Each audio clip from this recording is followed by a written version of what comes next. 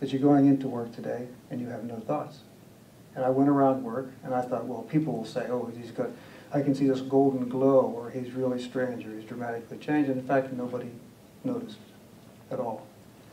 And I found through, this is 14 years ago, working in businesses, working in boards directors, working in all kinds of situations, that it actually is functionally enhancing.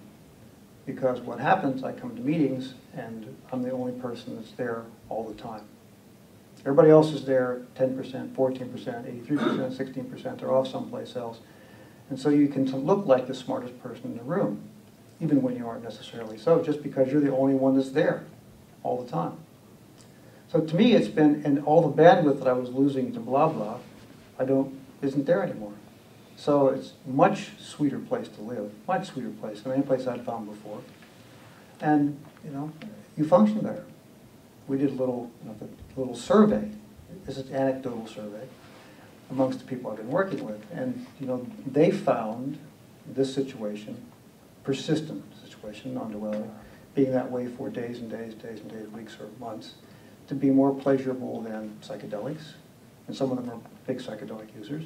And that to be more pleasurable than even sex. So this is not a horrible, bad, dark place that you go to. This is the sweetest game in town. If it wasn't, I'd be doing something else.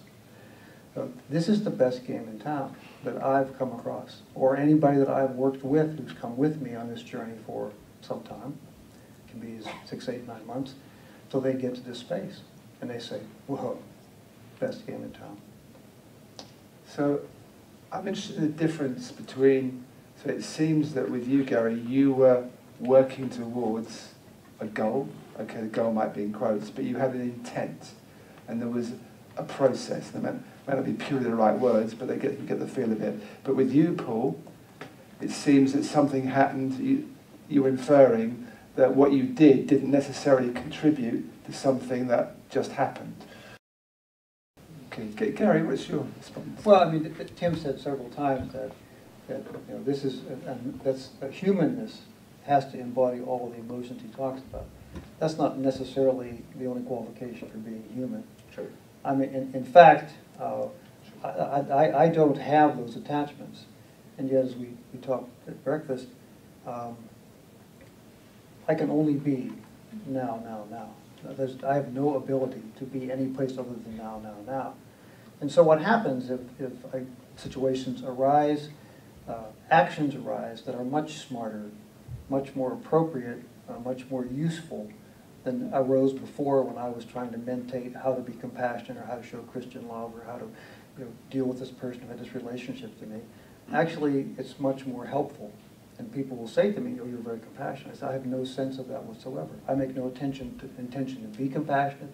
It's just you're there 100%, and whatever needs to arise arises out of nothingness. And it's right there, and you're totally present. So, and my kid, we have, Tim and talked about our kid this morning. I have two daughters. And, and I was concerned, well, if I, if I do this thing, will I be a decent parent to them? And I think they would say, too, I'm a better parent because I don't have an agenda for them. I don't have somewhere they have to be. And I'm not thinking about the last time we met. We meet each time right now and fully present. And so whatever needs to arise out of that situation arises. And it's often much, it's always better than I could have imagined it could be. So that's the space I work, operate from. So, and I, I still consider myself a human. Can I just say that I also consider Gary human? and that there's an infinite number of ways of being human,